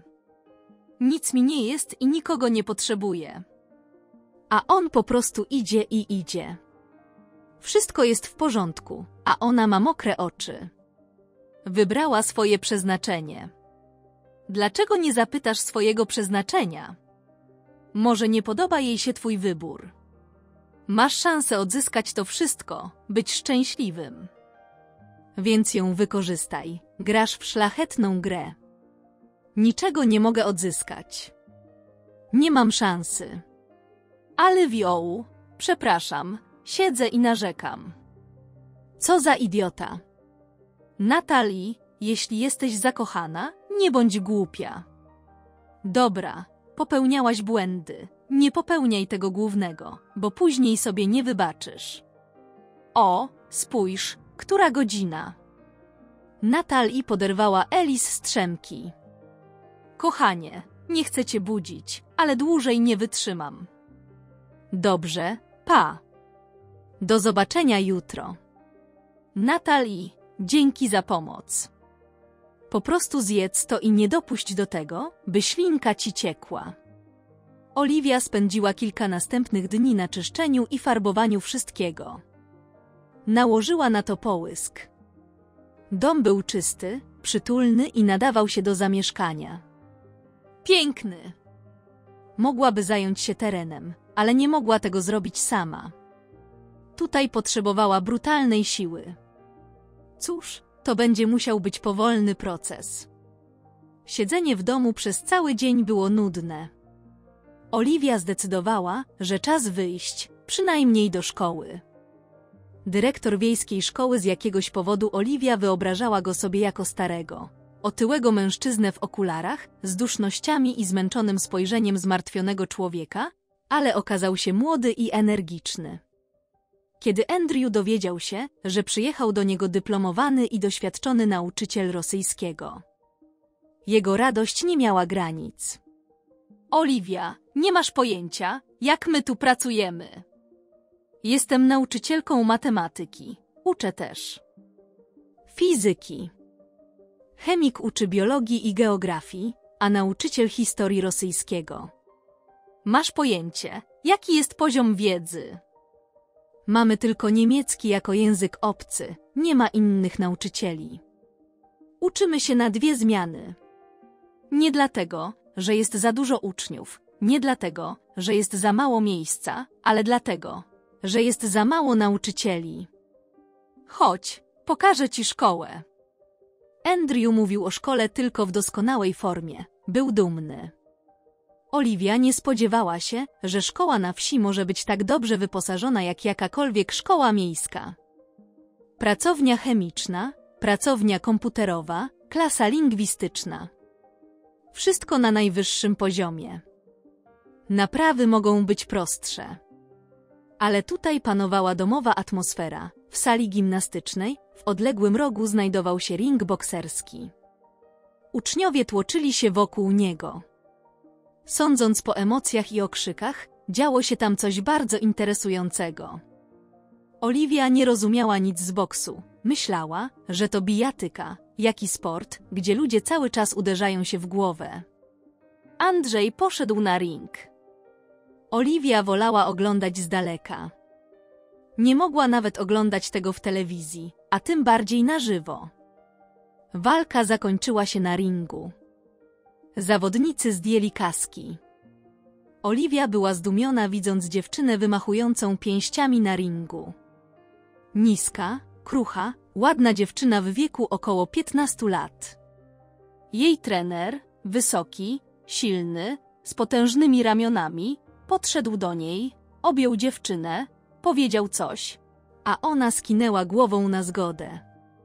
William, dyrektor machnął do trenera, chodź tutaj. Andrew, mam trening. Twój trening może poczekać. Powiedziałem, idź. Co za facet, dyrektor jest po imieniu ze swoimi uczniami. W porządku, przyjaciele, ale istnieje etyka zawodowa. W końcu uderzenie w głowę nie znika. Oliwia, to jest William, trener. Ma wszystkich chłopców w wiosce. I tych, którzy już opuścili szkołę. William. Oliwia. Mam nadzieję uczyć rosyjskiego. Witam. Z bliska trener wydawał się ogromny. Wcale nie wyglądał przyjaźnie. Nie obchodziła go Oliwia ani język rosyjski. Czam. Mógłby chociaż udawać. Miłego. Aż dziw, że jego dzieci się go nie boją. Podeszła do nich dziewczyna, która właśnie walczyła na ringu. Andrew uśmiechnął się. To jest Mia, nasza duma, mistrzyni okręgu i zwyciężczyni zawodów regionalnych. Tata mówi, że jest bardzo zdolna. Należy do wielkiego sportu. To moja córka. Mruknął William. Przepraszam, to chyba nie moja sprawa. Ale nie boi się pan o córkę. To nie jest kobiecy sport. Tak, to nie twój interes. W porządku, skończyliśmy tutaj. Czas na nas. Andrew, dzięki za oprowadzenie. Jutro przyniosę dokumenty. W takim razie do widzenia. Oliwia skierowała się do holu. Usłyszała, jak dyrektorka cicho strofuje Williama. Czyś ty postradał zmysły? Dlaczego jesteś taki niegrzeczny? Jesteś wściekłym niedźwiedziem. Nie gniewaj się na tatusia. Mija dogoniła Oliwię. Zaszalałeś ze swoimi bokserkami. Zapomniał, jak rozmawiać z kobietami. Jak się tu zadomowiłeś? Potrzebujesz pomocy. Obawiam się, że tacie się to nie spodoba. Nie, nie spodoba. Nie jest zły, jest po prostu nieszczęśliwy. Musi wyjść ze swojej skorupy i rozmawiać z ludźmi. On nie chce. Dla ciebie też nikogo tu nie ma. Zostańmy przyjaciółmi. I tato, przepraszam, wiem, że jest tam sam z ostatnimi słowami dla jego gryzącego sumienia, przeprosi jutro. Zobaczymy. A ty, Mija, wpadnij, jak będziesz się nudzić. Taka słodka dziewczynka i kocha swojego tatusia. Ciekawe, dlaczego nazwała go nieszczęśliwym. Musiało stać się coś strasznego. Jeśli mężczyzna jest tak zamknięty w sobie, zamyka się w sobie z ostentacyjną obojętnością i celowym hamstwem. Oliwia lubiła szkołę dyrektora. Uznała, że w nowej pracy będzie jej wygodnie. Jedna nieprzyjemna osoba pogody nie czyni, boks jej nie interesuje. Więc trenerkę można ograniczyć do minimum. Zaczyna nowe życie, podekscytowana rychłą zmianą. Nikt nie będzie w stanie wytrącić jej z radosnego nastroju. Nawet ktoś tak nieprzyjemny jak William. Oliwia przyłapała się na tym, że bez względu na to, o czym myślała, była łączona z tym chamskim trenerem. To było wszystko, czego potrzebowała. Co ją on obchodził? Oliwia przyniosła do szkoły swój dyplom i historię zatrudnienia. Napisała podanie i została zatrudniona ku jawnej radości Puszkina. Szkoda, że to już koniec roku szkolnego. Ale od września wszystko pójdzie zgodnie z planem. Teraz ma czas na ocenę wyposażenia sali, na dodanie i poprawienie czegoś, na przygotowanie programu nauczania. Nie mógłbym być bardziej entuzjastyczny. I ona też została w domu. Mia często wpadała do biura pogadać i pomóc, choć Oliwia zakazała sobie kontaktów z Williamem, ale musiała się z nim widywać. Szukał mi po treningu i często znajdował ją w rosyjskim gabinecie. Przy okazji prze... strasznie jest spojrzeć mu w oczy. Przyjeżdżał, sprzątał działkę, naprawiał dom. Oczywiście, że się widzieliśmy. Serce mi zamarło, ale nie miałam odwagi się odezwać. Kogo zapytać o radę? Oczywiście Kate. Dawno nie plotkowałyśmy. Najwyższy czas. Wyrzuciłam z siebie wszystko. Niczego nie ukrywałam. Kate nie widziała w czym problem. Jakaś konkurencja. Nie ma żadnej konkurencji. Nie podoba mi się to. Mnie się podoba. Za bardzo. Dziewczyno, nie rozumiem cię. Pojechałaś na wieś i spotkałaś księcia. Co w tym złego? Koń księcia chyba zdechł. Nie ma szans, żeby dotarł tam pieszo. Mam się oświadczyć. Nie, czekaj, pa. Będę tam za kilka tygodni. Zdecydujemy, co robić. Andrew powiedział podbij. Jak? Cały teren został rozkopany, ogrodzenie naprawione. Krany i zamki są sprawne. Co jeszcze? A odpowiedzią jest cisza. Wszyscy przyzwoici, grzeczni i obojętni. Nie ma sensu rozmawiać z Andrzejem. On już z niego kpi. William wylewa mu swoje serce, a on patrzy chytrze. W jego oczach czają się diabły i widać, że z trudem powstrzymuje się od śmiechu. Andrew, myślisz, że to jest śmieszne? Wywracam się przed nim na lewą stronę, a on się śmieje. Tak, to zabawne. Siedzi tam i mamrocze. Nie może powiedzieć kobiecie, która mu się podoba, co czuje. Oczywiście, że się śmiejesz. Masz żonę, dzieci. Tak przy okazji, ja też chcę mieć żonę. I to nie byle jaką, ale bardzo konkretną. Ty jesteś Andrew, oczywiście, a ja jestem bokserem. Jeśli będziesz się teraz śmiał, ryzykujesz cios w nos. Mój przyjacielu Williamie, kiedy ostatni raz wspinałeś się do okna kobiety? Co to ma wspólnego z oknami? Czas wejść. Nie chodzi o okna. Chodzi o kobietę. Dobra, ty jesteś chudy, ironiczny, ja jestem gruby, hetero i pewnie też głupi. Nie rozumiem twoich przypowieści o oknach. Sugerujesz, że nie mogę przez nie przejść. Sugeruję, że powinieneś skorzystać z romansu. Oczywiście, że nie powinieneś wychodzić przez okno. Rezultat jest przewidywalny. Albo noc w pudle, albo czarne oko z patelni. Kwiaty też w naszej. Rzeczywistości nie wchodzą w grę, co jej przyniesiesz. Rumianek czy róże cioci Pam. Nie ma kin ani restauracji. Słuchaj, nigdy nie myślałem, że mamy tak źle z romansem. Rozmawialiśmy trochę więcej o romansach, ale nic nie wymyśliliśmy. Żona Andrew Gina podsłuchiwała, o czym rozmawiają mężczyźni. Boże, jacy oni są prymitywni. Dobrze, że Bóg najpierw ich stworzył, a potem, po przyjrzeniu się swojemu dziełu, postanowił je ulepszyć i stworzył kobietę. Kiedy zorientowałem się, że mężczyźni są w martwym punkcie, postanowiłem interweniować. Jakie pieprzone kwiaty! Może zaprosisz ją na tańce do klubu? Niech się młodzi śmieją. Kup pierścionek i idź się oświadczyć. A co jeśli odmówi? Oczywiście, że odmówi. To byłoby dziwne, gdyby to zrobiła. Kto się żeni tak po prostu? Ale pomyśli o tym, zacznie oceniać za i przeciw. Co to oznacza? Że ty, Williamie, będziesz cały czas w jej głowie i nie będzie mogła myśleć o niczym innym. Tylko o tobie.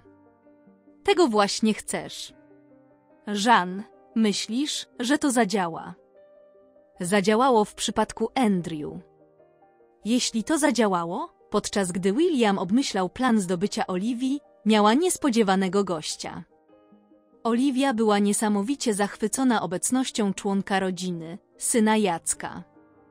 Przypomnienie dawnego szczęścia. Tim przybył w konkretnym celu przekonać Oliwię do powrotu do miasta. Nie mógł pozbyć się poczucia winy. Rozumiał, że Oliwia znalazła się w tej dziurze z powodu jego matki. Ale wioł, wystawiłem mieszkanie na sprzedaż, w połowie twoje. Oczywiście nie możesz go dostać, ale wrócisz do miasta. Nigdy nie odebrałabym mieszkania tacie. Mamy własne, ale mama ma coś do tego miejsca. Dlaczego jesteś głównym celem? Rozumiem, nie może się już odegrać na ojcu. Otwiera się na ciebie. Tim, dlaczego sprzedajesz? Chciała tam mieszkać. Zaczęła nawet remont. Jak już zaczęła, to skończyła. Jej celem było cię wkurzyć, a ty po prostu zwiałeś. Zepsułeś całą zabawę. I nie potrzebuję tego mieszkania bez ciebie. Tim, nie wracam do miasta. Może kiedyś, ale nie. Teraz. Ty i ja pójdziemy na spacer na wieś, zobaczysz. To wcale nie jest dziura. Spójrz na dom, który widziałem. Przydałyby mi się pieniądze ze sprzedaży mieszkania. Naprawdę chcę mieć łaźnię. Tim, tak się cieszę, że cię widzę. Jak mnie znalazłeś? Kate załamała się. Nie mogę powiedzieć na pewno, ale miałam przeczucie, że w drodze jest kolejny mąż. Drań nawet mi nie podpowiedział. Tim, zatrzymujesz się u mnie na kilka dni, czy zostajesz na dłużej? Oliwia, czy tata prosi na kolację? Mija była przy drzwiach. Masz gościa? Pójdę mu powiedzieć, że to kolacja dla czterech osób. Mija wyszła. Oliwia, chyba zostanę. Tak, zostań. Tylko, że ta dziewczyna jest mistrzynią w boksie. Więc uważaj. Wioska już dawno zorientowała się, do czego to zmierza. Tylko ci młodzi mężczyźni nie mogą się zdecydować. Nie mogą się równać z mieszkańcami miasteczka. Każdy, kto miał coś do Williama, wiedział, że nie ujdzie mu to na sucho. I szlachetnie odczołgali się. Oczywiście chciałem zrobić z tego skandal. Zabrała jedynego przyzwoitego mężczyznę, ale co z tego? Bez niej tak naprawdę nie chciał oglądać ich wdzięków. Ale możesz powiedzieć, że go kochałaś, ale pozwoliłaś mu odejść. Bądź szczęśliwa w szlachetny sposób. Williamowi nie przychodziło do głowy nic romantycznego. Wydawało się, że jest dobrze bez romansu. Pojawienie się Time sprawiło, że zrobiło się niemal rodzinnie. Wspólne obiady i kolacje. Rozmowy przy herbacie prawie do północy. Tim nie chciał opuszczać mi. To działało tylko na korzyść Time. Andrew i Jean naciskali na Williama. Nie milcz! Może cię jeszcze nie lubi, ale na pewno jest zainteresowana. Jeśli nie zapytasz, nie dowiesz się. A Oliwia znowu ma gościa. I to jakiego gościa? Kate tu jest. Kate jest tu nie tylko z misją ratunkową, aby pomóc swojej przyjaciółce. Kate miała również oszałamiające wieści, ale milczała po raz ostatni. Najpierw musimy pomóc dziewczynie. Pokazać jej księcia bez konia. Przyjrzyjmy się. Czego chcemy bardziej? Księcia czy konia? Po naszej. Pierwszej wspólnej kolacji zdecydowałam, że chcę księcia. Oliwia, on nie może przestać się na ciebie gapić. To wspaniały mężczyzna. Nie mówię o wyglądzie. Nie ma o czym mówić. Ma monumentalny charakter. Oliwia, spójrz uważnie. Jest jedynym, którego kiedykolwiek spotkasz. Co ja ci mówię? Wiesz? Tylko dlatego, że to mnie spowalnia. Bzdura, popchnijmy to. Kate, dlaczego nic nie powiesz? Tim mówi, że wychodzisz za mąż. No dalej, mów. Tak, Kate rzeczywiście wychodziła za mąż, zapewniając ją, że w małżeństwie nie ma żadnych interesów najemników. Znając swoją przyjaciółkę, Oliwia bardzo w to wątpiła. Sam fakt, że jej były przedstawił ją jej przyszłemu mężowi, był sugestywny. Jeśli to był jej pierwszy mąż, to albo artysta, albo poeta. Można by sądzić, że pieniądze nie wchodziły w grę. Czysta miłość. Ale o losie Kate zadecydował jej drugi mąż. W jego otoczeniu nie było ludzi, którzy wierzyliby w bezinteresowną miłość. Zaprosił Kate na eleganckie przyjęcie. Nie odmówiła. Kto nie chciałby spędzać czasu z władzą? Tam Kate poznała przystojnego młodego biznesmena, który akurat był singlem.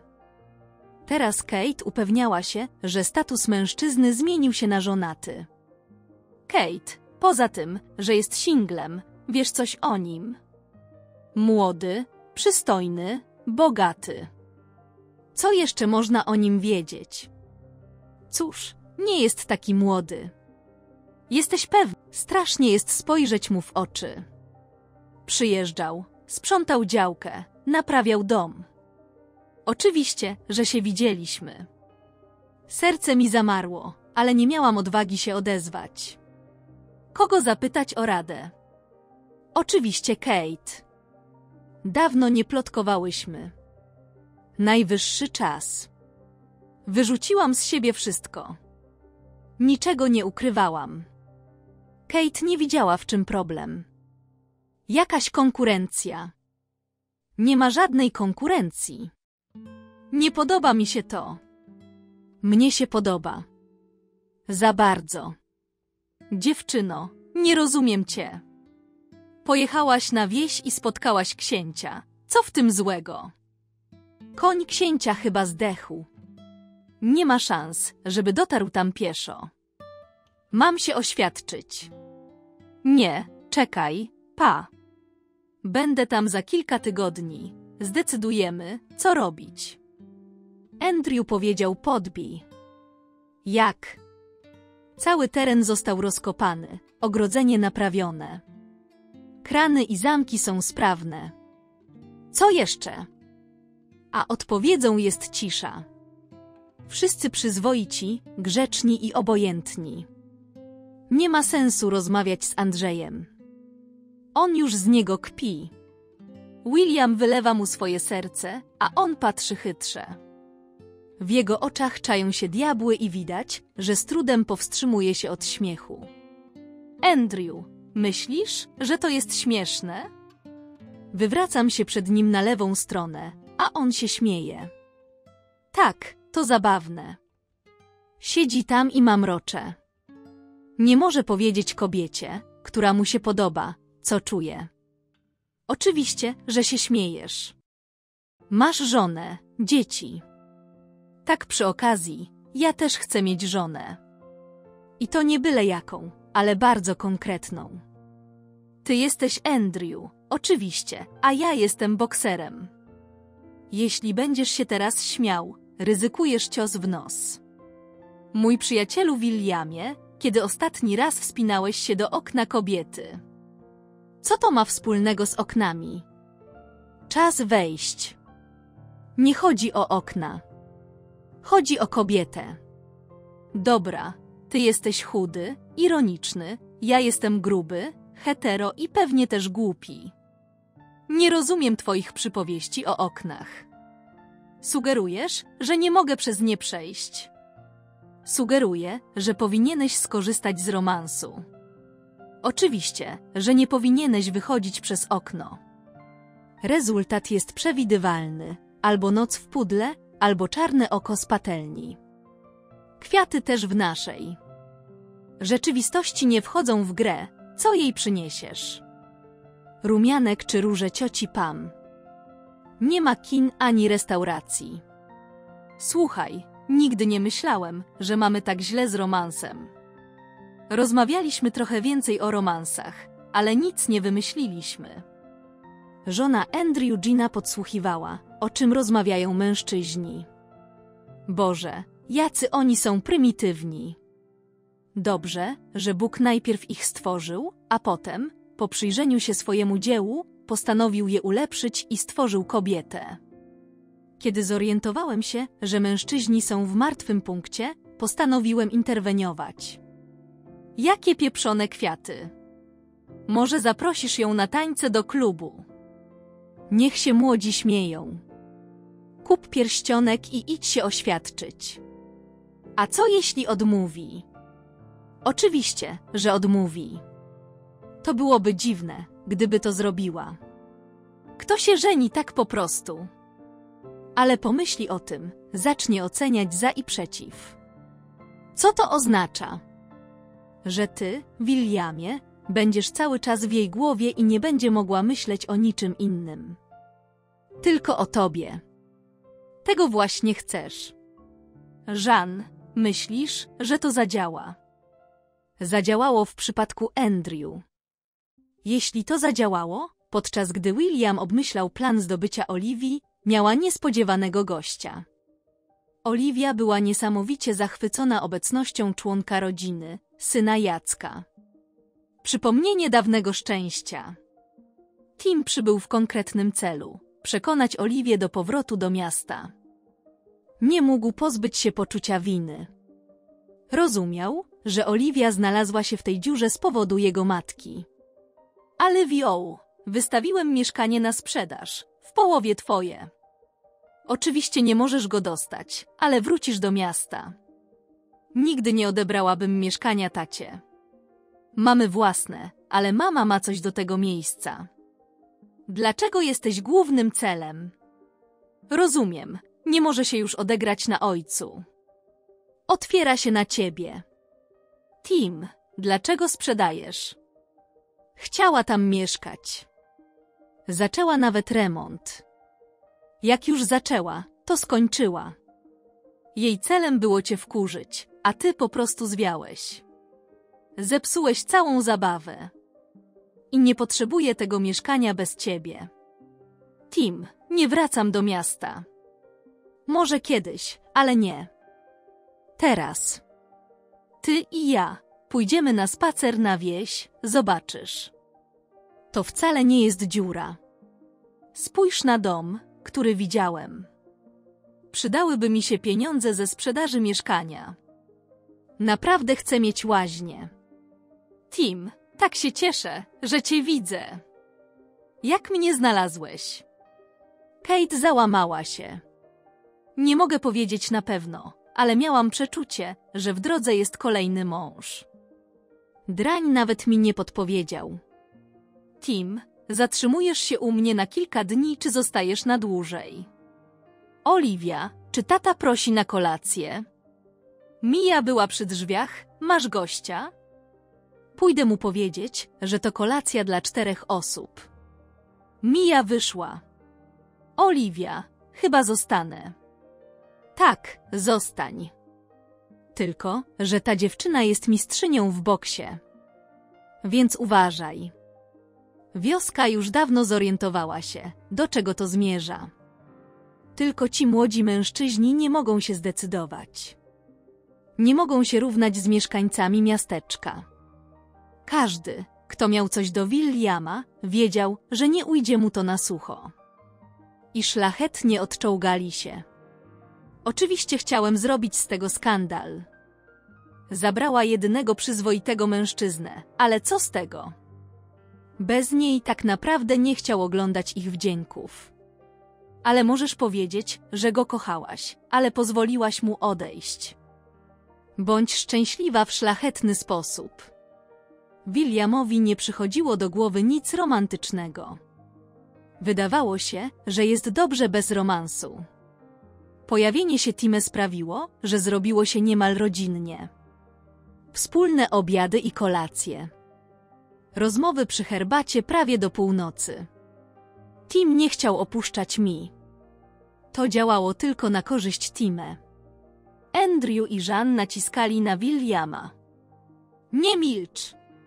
Może cię jeszcze nie lubi, ale na pewno jest zainteresowana. Jeśli nie zapytasz, nie dowiesz się. A Oliwia znowu ma gościa. I to jakiego gościa? Kate tu jest. Kate jest tu nie tylko z misą ratunkową, aby pomóc swojej przyjaciółce. Kate miała również oszałamiające wieści, ale milczała po raz ostatni. Najpierw musimy pomóc dziewczynie. Pokazać jej księcia bez konia. Przyjrzyjmy się. Czego chcemy bardziej? Księcia czy konia? Po naszej. Pierwszej wspólnej kolacji zdecydowałam, że chcę księcia. Oliwia, on nie może przestać się na ciebie gapić. To wspaniały mężczyzna. Nie mówię o wyglądzie. Nie ma o czym mówić. Ma monumentalny charakter. Oliwia, spójrz uważnie. Jest jedynym, którego kiedykolwiek spotkasz. Co ja ci mówię? Wiesz? Tylko dlatego, że to mnie spowalnia. Bzdura, popchnijmy to. Kate, dlaczego nic nie powiesz? Tim mówi, że wychodzisz za mąż. No dalej, mów. Tak, Kate rzeczywiście wychodziła za mąż, zapewniając ją, że w małżeństwie nie ma żadnych interesów najemników. Znając swoją przyjaciółkę, Oliwia bardzo w to wątpiła.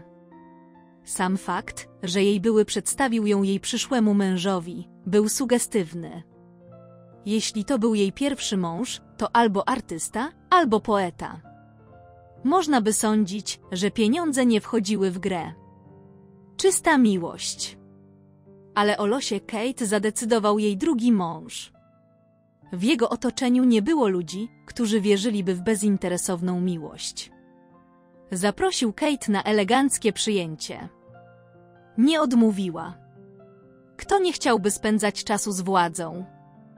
Tam Kate poznała przystojnego młodego biznesmena, który akurat był singlem. Teraz Kate upewniała się, że status mężczyzny zmienił się na żonaty. Kate, poza tym, że jest singlem, wiesz coś o nim.